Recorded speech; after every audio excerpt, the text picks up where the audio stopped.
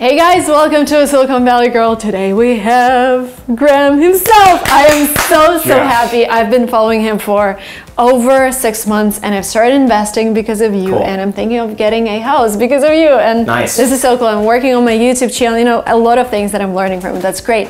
And uh, I'm so happy I can, ask, I can ask you questions. I'm an open book. Uh, yeah, and it was really hard to come up with questions because we were brainstorming and uh, people would just ask me questions about you and I knew all the answers because you post so much on, social media.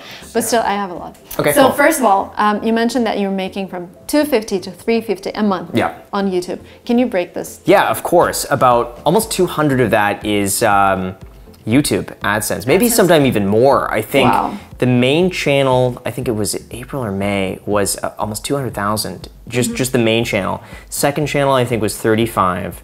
Podcast, we made a grand. So that's pretty good. Wow. Um, programs were anywhere from like 30 to Oh, you still count that as YouTube income? Yes. Okay. Yeah. Oh, yeah.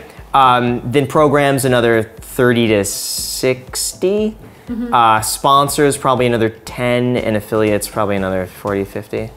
Wow, affiliates 40, 50? Yeah, 40, and 50. what are those? What are Uh, that could be Robinhood, Webull, M1 Finance, any of those. So do you get good good deals with uh, Robinhood? So I only got one stock that was worth like a hundred. The rest are like six dollars. Yes, I would say the majority of them are probably worth anywhere from eight to twelve dollars. But I, I heard somebody got uh, what was it? Uh, someone got like a Facebook stock, which I was like really happy with. Someone Have also got, got Apple. Um, no, I think the most expensive one I got was Alibaba. How much was it? Uh, that at the time I think it was like 180 when I got Nice. it. Now it's worth more, so I made some money from that. Yeah. I think the the highest one I got was Johnson Johnson's. Okay. Two hundred. So what is other income uh, apart from YouTube? You have your um, real estate, right? Yes. Right now it's actually higher. Uh, I think it's about 17 or 18 thousand um, a month, and that's the gross. And then the net on that is probably about eight at this point because I just finished a renovation. I ended up renting that out for way higher. It's that that was actually the unit that you've seen me renovate on my channel. And I think at the beginning I was like, guys, I might get like 27 for it. I might get 20, just something like that. But I ended up getting 35, just like a few days, Nice. which I was shocked for. So that boosted it up. And then I had a vacancy uh, that I just quickly rented out for even more money than the previous tenant. So that boosted up things in the last few months. Why are you still doing it? Because compared to your YouTube income, you Yeah. could just reinvested your energy back into YouTube. Yeah. Uh, all of that's pretty passive at this point. If I have another vacancy, I'm probably going to get a property manager. But those vacancies were so easy for me to work with because I just would have the tenants next door just show the unit, and then I would do all the vetting process over Did the they phone. for- recognize you? No. Um, no, I've actually not been there for the showings. So I have not actually met the new tenants, but I've spoken with them on the phone. So I prefer a little bit more distance at this point. And uh, do you get recognized in the streets? Yeah, we got recognized recently, but um, yeah, I I would say it's almost every time I've gone out. Not every time, but maybe like almost every time. How does Which it is feel? Really cool because everyone comes up and shares like a really neat story. Like there's a there's a guy down the street who runs a uh, a business. And we, we were on the scooters just like scooting by and he comes out and says hi and like he runs the whole business which is really neat. Nice. Um, so do you edit everything yourself? Ye- I would say most of it. So the second channel, I have Jack right now, who's editing all the reaction videos and the phone calls. So he takes care of that. I still do the thumbnails, uh, titles, description, uh, placing ads in the videos, all that. The main channel, I edit everything. Why don't you delegate it? Because I feel like then you lose the authenticity that I have. Like, I really believe one of the reasons people like my channel so much and that they trust it is that it's just me. It's not like some big corporation. I don't have a big team. It's really just like me in a room recording videos with like the same camera that I bought used off eBay. I edit on iMovie. Like, there's nothing fancy about it. There's no overhead on that. And I believe that's what keeps the channel real. But don't you think you could have had more energy to produce more videos? I know you already have three channels, but maybe you could have started a show or whatever uh, with all of that energy that you save on editing. Maybe, but I feel I just felt like the channel has grown so much to a point where like why mess with with something that works? Like it it works. I got a good schedule down. Uh, people like it. So I've like been afraid to pivot too much from that because I just feel like I, I found the winning combination. Like let me just keep that. Interesting, because I was only able to start my second channel once I started delegating editing, because otherwise it's too Yeah. much time. Well, with your thumbnails, I noticed that you have like one photo that you're reusing over and over. again. So how many pictures do you have Oh, thumbnails? so sometimes I'll do a custom picture. If I feel uh-huh. like it's something really unique, I'll do something like, you know, I'll take an actual picture for that. But I have found, like I've looked through some of the some of the biggest channels, like David Dobrik, for instance, uses the same few faces in all of his thumbnails. Wow. And there's been a few other channels like that that get like tens of millions of views that use the same reaction and the same facial expressions in the thumbnail. Interesting. And started for me because I, I think one time where I'm like, I'm just keep making the same faces over and over and over again and then having to re-edit them. Let me just use one of the old ones. And I used it and it just, it did really well. So I started doing the same thing and like, they've all been doing really well.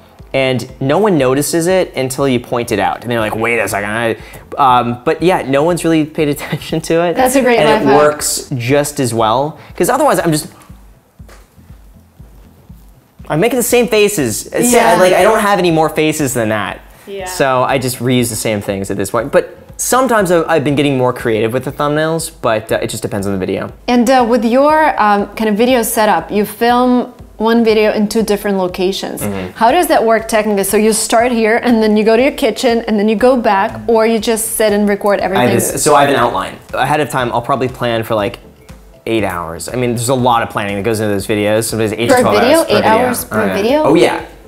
He's, oh my god. Oh yeah. Wow. No, I am so well researched. Like because I want to make sure that everything I say is going to be concise, so I don't lose people's attention, so I don't just ramble Mm-hmm. unnecessarily. Because in the beginning, what I would do is I'd just have like a topic with a few bullet points, and then I'd ramble. And then in editing, I'd spend so much time sitting there being like, what do I cut out? Where do I need this? So now I plan out everything ahead of time, and I Is make it sure. word by word? Yes. Here's what I do. So I have a whole outline Mm-hmm. of usually like, you know, 20 minutes worth of content, let's say.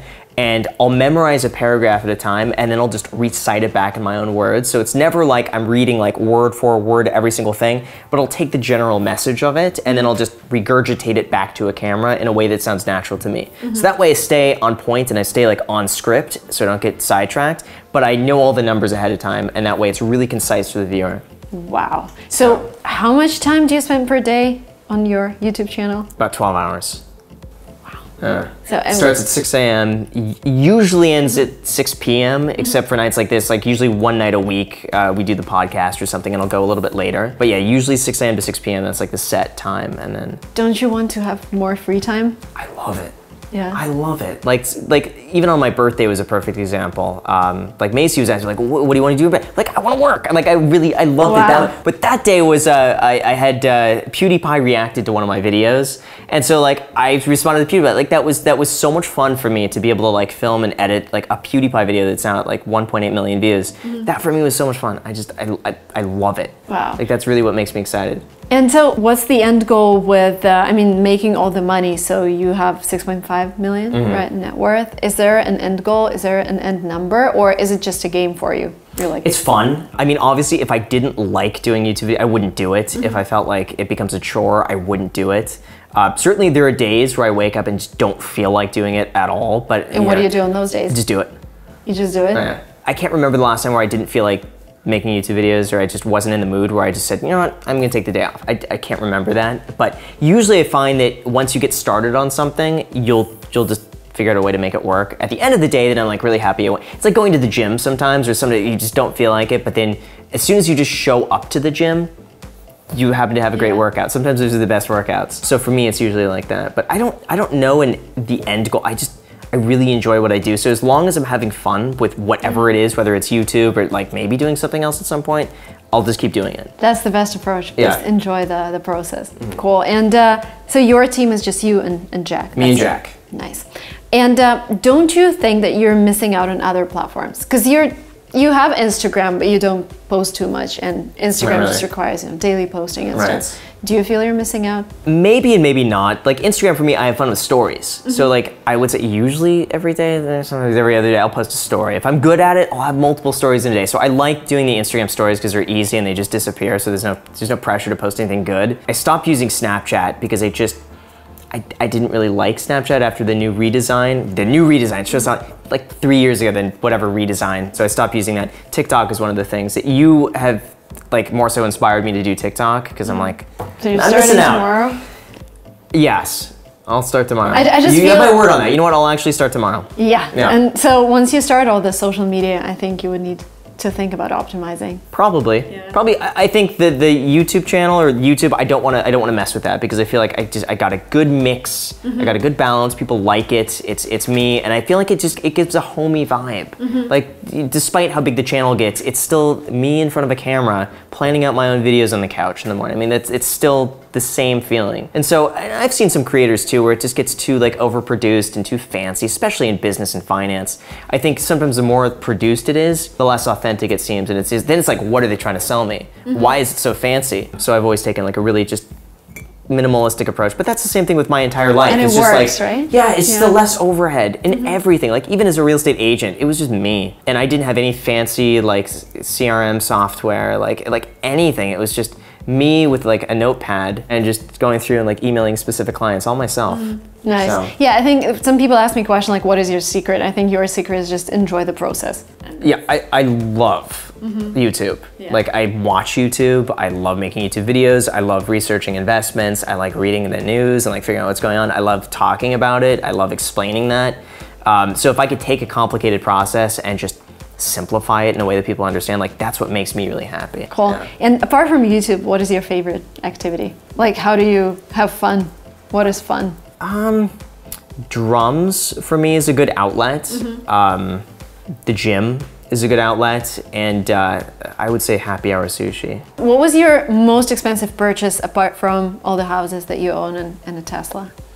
The watch, th- this watch, the Zenith What El it? Primero. This, it's a Zenith El Primero, but it was the 50th anniversary edition. So they made Mm-hmm. 50 in yellow gold, 50 in white, and then uh, How much was it? uh, this was 20.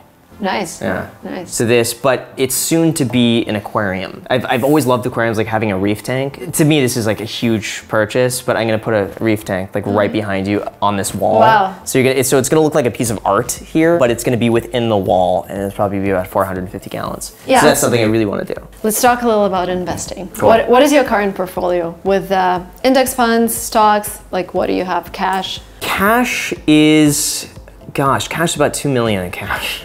Too much On cash. savings accounts? CDs? Yes. Uh, so it, that's split up between like just high interest savings accounts, uh, California uh, tax free bonds, treasury bonds, Mm-hmm. because the interest in that would be tax free in California. So that saves me a little bit on that, just a lot in, in savings. And, and that right now I'm kind of justifying as I want to maybe buy another piece of real estate to use as an office. So like if I find a good deal, that cash goes You towards real estate. cash cash deal or No, no, no, no. I mean, most likely that would be probably a 50% down mm. payment and then finance the rest. Why would you finance? Why don't just pay cash? Because The write-offs. The write-offs. You get first of all, money is so cheap to borrow right now.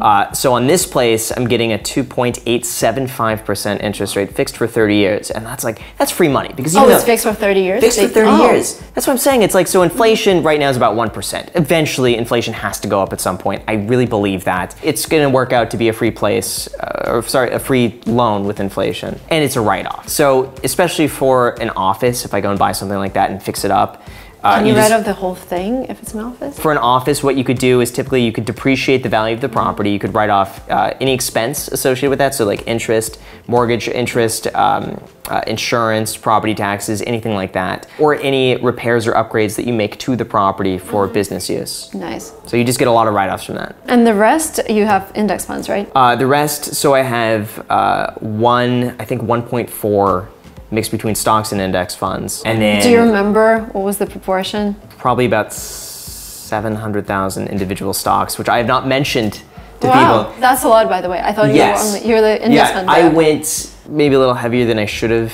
in April and May and just like really hard What hit did you get? What was your best purchase? I think the best in terms of percentage gains was Tesla, believe it or not. And then below that was Boeing. And Phase was a really good one for me, but I bought in. I mean, that was a, just a stupid risky one, but they came out with like a, a bit of a scandal that I was like, this is this is BS, and I put money in Enphase, and then it, it's almost doubled since then. So you're gonna keep it, or you're gonna sell? I'm gonna get no everything. I'm just anything I buy at this point. I'm just gonna be like, I'm just gonna keep it forever. And the rest is uh. Vanguard. Oh, I mean, Vanguard is uh, 800,000. So you said 1.5 million. No, so Vanguard is less than that, but I'm counting that and another brokerage, Charles Schwab. Okay, okay, got it. And the rest is Real is estate. So, what would your investment strategy be if you only had a thousand today? A thousand dollars to invest.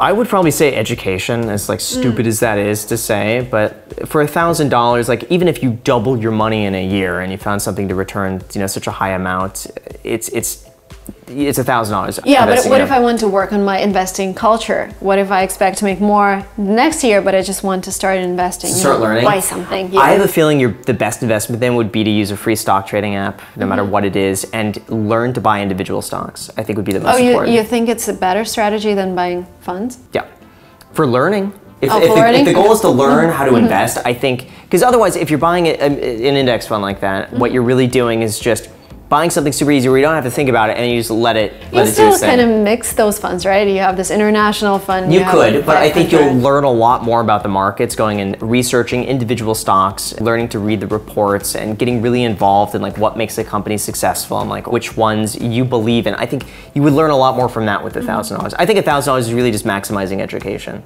Do you think it's a good time to buy a house right now? If you find the right deal, which is the issue that I've had lately, is I've been trying to find something to buy, but first of all, there's no inventory on the market right now. So anything that comes up is like, ooh, what's the new property? And people just flock to it. And with really low interest rates, you're getting a whole bunch of people that had money sitting on the sidelines that want to do the same thing.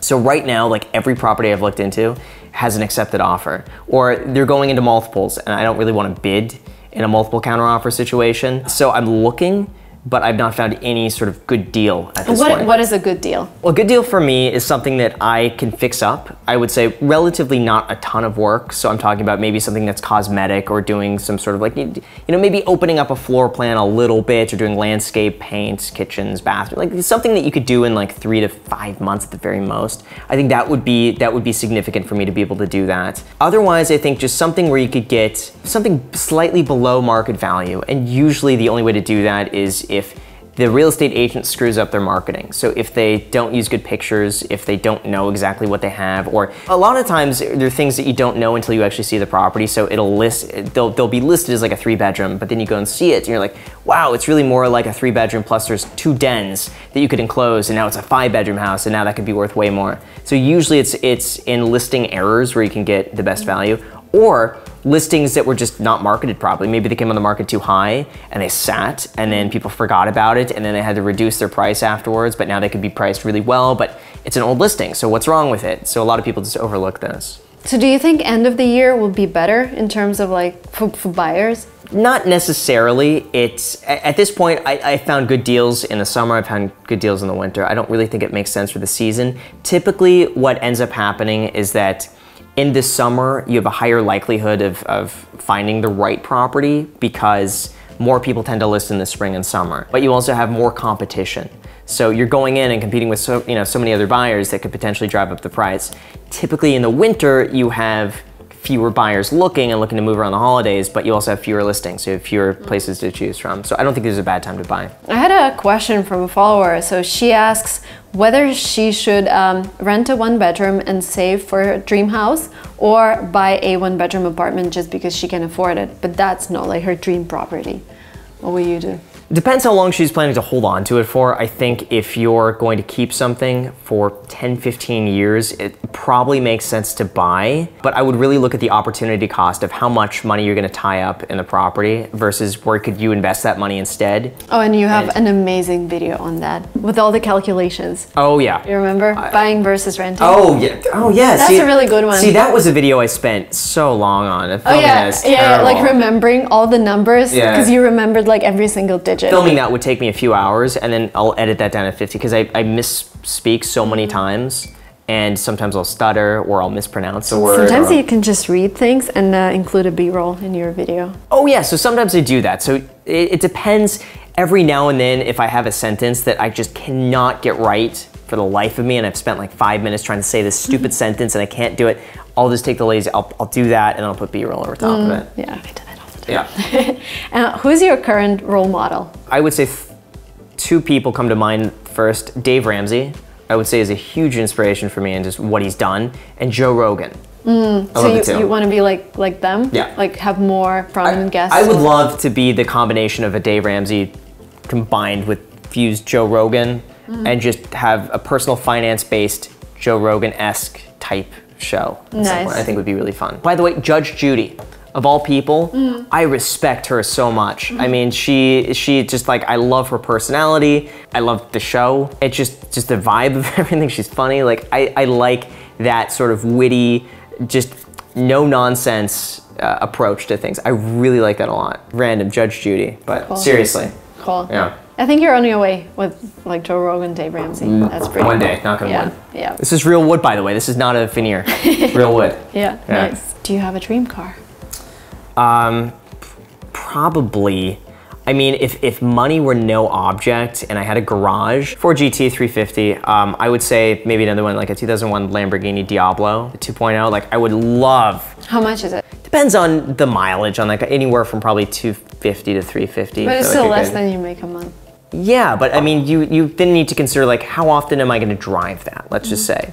Realistically, because I had the Lotus, which to me was like such a fun Where is it, car. by the way? It wasn't Sold your it. office. Oh, you I sold sold, it. it. Oh. Yeah, yeah. Now I got this office, but before I had a garage that I turned into the studio, so I parked that in the garage in the studio, and I rarely drove it. I mean, mm. maybe every few months I'd take it out, but it was just I never drove. It. But you had the pleasure of having it? No? I looked at that car every day and I started adding up like, okay, I'm paying this amount in insurance. Here's the opportunity cost of keeping that money in the car. It's like there's a, there's a whole bunch of things. It was just I wanted to be done with it. Plus, the new owner loves the car, and I, I follow him on Instagram, and Oh, like I see pictures of it all the time.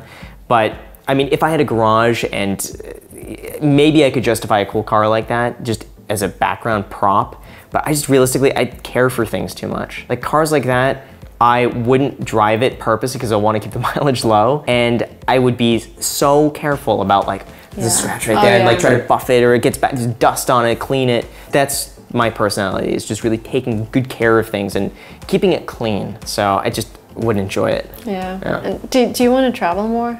Have you been to Europe? No. No? Uh-uh. Do, Uh-uh. you, do you want to go there? At some point. Why not now? The, I think the opportunity cost of me taking time off is so high. Oh. So I look at like the trajectory and the momentum I built up, and just like cutting that to go travel would throw that off. And I feel like I've, I've got the you've got this like momentum, this snowball going for like four years now of continuously. It's just like making videos and working, expanding that. And if I take a break from that, I, I, I want to keep up the same momentum. but don't you think it's endless and life just goes by and you're working and working? Potentially, but you know, I want to do it at some point. But I feel like right now is probably not the best time. You, you never get this feeling that, you know, life passes by and you're working and working and I love it. No, I, I, I've, never, I've never felt like I'm missing out. If, if there's something I want to do, I've always done it wow. for the most part. I guess that the, the feeling that I'd rather make YouTube videos right now is way bigger than the feeling of traveling. That's right now. amazing. I'm not saying it, it might not Yeah. always be like that. At some point, I'm sure I'll just be like, you know, I want to go do something else, and I will. Wow. It, it just shows how much you love what you do. I really do. That's great. Yeah. yeah. Wow. Do you see yourself doing something as an entrepreneur, like starting a company?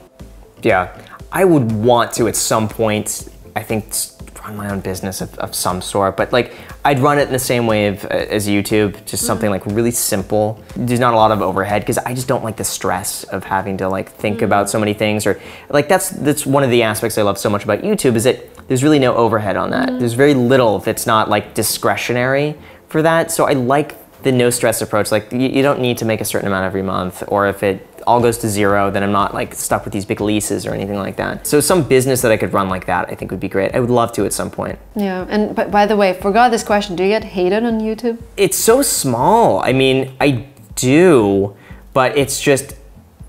I would say like out of a thousand people, there might be one. Mm-hmm. But it's just overwhelmingly positive. But I got more hate in the beginning because people like didn't know you, and so you're coming on the scene like telling people how much money you make. That's the point where I got hated on the oh, most. I would say it was the first three to four months on YouTube. So after that, it really like any other comment has never seen that bad in comparison because that, that first comment it was just so stingy that it just kind of numbed me after that. But I feel that when your videos go viral, this is what I feel on my channel. When it goes viral, uh, you get a lot of non-subscribers comment, and they m- would normally hate you. Well, uh, do, do you get that? I do, but I find that's the best content because then you could make a response video to it. Mm. Like when my first credit card video just got like a million views, that was an entire like that was all my not audience. Like like I think at the time when I was when I made that video, like if I got hundred thousand views on a video, like that was really good. Like that was a ten, you know, a perfect video. That got a million views in like a week or like five days. So it was all my non-audience. What But- was it? Like top? Oh, that was unboxing the JP Morgan Oh. Reserve Mm-hmm. credit card.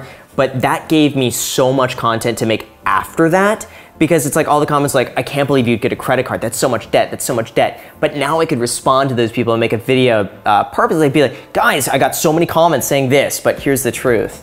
I like your approach. Yeah. Um, yeah. So you don't get this feeling anymore that when people tell you you should stop doing this, and you're like, oh, maybe I should stop doing. it. I take some comments to heart, uh, but I think you could tell when they come from like a genuine place. Um, like someone commented recently on the second channel on one of my recent videos with with this guy Morgz. And I read through some of the comments. It didn't seem like people liked that video at all. And a few people had commented on that, like, listen, I'm not a huge fan. Like, I like the video, I watched them all, but I'm not a fan of this direction that you're going. And then when I see a whole bunch of people like that, I'm like, hmm, that's something to consider. How can we reevaluate? And that was a stupid video. Like, I knew that going in, so it was a bit of a test. Like, this is a terrible video, but let me let me see if people like it. They didn't. So like that sort of stuff I take to heart. You know, some other stuff where it's like, you know, Graham, I watch your videos, but lately it's been feeling kind of repetitive. Uh, yeah, so so I read those. I'm like, okay, that's probably that's probably true. How can I how can I pivot from that? So I take constructive criticism really seriously, but anything like you suck. Yeah. I just, I mean, obviously, it's there's no point to that. Yeah. Yeah, that's a good approach. Thank Yeah. you. What was your record-breaking month in terms of revenue? Probably close to like 500 grand. 500. Was it this year? Uh, yeah, I think that was. With all the stimulus checks? God, maybe April. Yeah, I think it was April. But that was yeah, that was a combination of like the best month ever on YouTube. Uh, I think I think the channel got like 17 million views, 16, 17 million views. Wow. Um, the birthday program sale that did well over 100,000 on that, and just a combination of just everything. Oh, one it. video Yeah. 100k. Wow. Oh, there, there was a pro. I mean, that was a swipe up on Instagram. I mean, that was a whole coordinated thing. But Wow. yeah. Wow, that's pretty cool. And uh, is there any end goal with like the, the money that you're making? Is there a number? For example, do you have like a goal for 2020 in terms of the money that you're gonna make? No. So you, do you have any New Year's resolutions? Uh, it was to start the Reef Aquarium. Oh, okay. Reef Aquarium, and then I think three million subscribers was I think my New Year. But the You're Reef Aquarium close, was a big right? one. Two, two point. Two two. Two, two. So I got eight eight hundred thousand another five Oh, so months. to- altogether? Yeah. I don't know if I'll hit that one. How fast is your channel growing? Do you know? It's 100 to 150,000 mm-hmm. subscribers a month. Knock on wood, because it's it's the algorithm. It's just it just depends on like what gets pushed, like what's trending. Finance was trending like a lot for those two months around the stimulus content, and now it's slowly starting to pick back up because the stimulus is like coming back into the scene. So people are really getting interested in personal finance because of that, Yeah. which I'm really a fan of. Exactly. It's You your know, topic. from, from that yeah. perspective, like it's, mm-hmm. it's terrible what's what's happening in the world, but at least people are starting to pay closer attention to how much am I spending, how much am I saving, what's the importance of, of investing, how can I get involved in my community and like like get a say and maybe have an influence of what's going to happen with a stimulus check. Or, so I think from that perspective, it's positive. What is your five-year vision? Where do you see yourself? I have no idea because even like five years ago today, like I would I would have had no idea that I would be here today. Five years ago. Oh, yeah. Uh, like five years ago, if you asked me like where did I would be like, oh, I'm going to be a better real estate agent. I'll sell forty million dollars a year in real estate, and you know, like that's what I would think. So I would have no idea. I mean, at, at this rate, I would imagine myself being more like a Dave Ramsey, Joe Rogan type thing. And I think the, the podcasting thing is really interesting. I think more of like the, the talk show format is really interesting.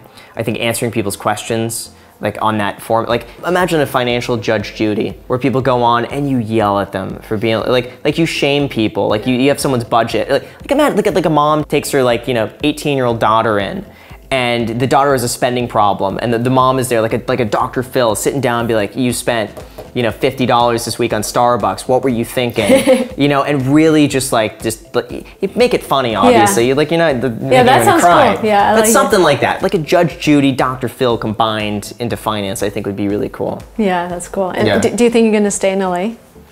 Uh, that's a good question.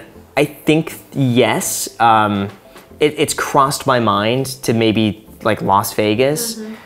but part of it is just like I really like, I like living here.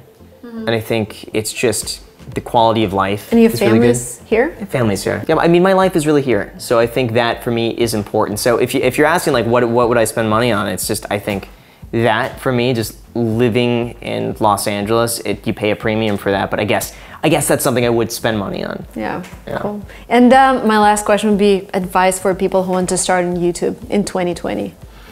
Uh, I would say you have to really like it. I think a lot of people started making YouTube videos because they see like, ooh, I can make money from this. But they, you could, you could tell they're just, they're doing it just because they want to make money from it. And I think that shows like everyone who I've seen who does well on YouTube, like really enjoys it and they have fun doing it. And you could tell, I think when someone doesn't enjoy what they're doing, you just, you get a sense of just like, you feel sad Yeah. almost because you watch it, you're like, oh, feel, down. But when someone's excited, it could be the most boring topic in the world, but if they're excited about it, you feel that excitement too. And it comes through on camera. So I would say like, first of all, you really have to want to do it.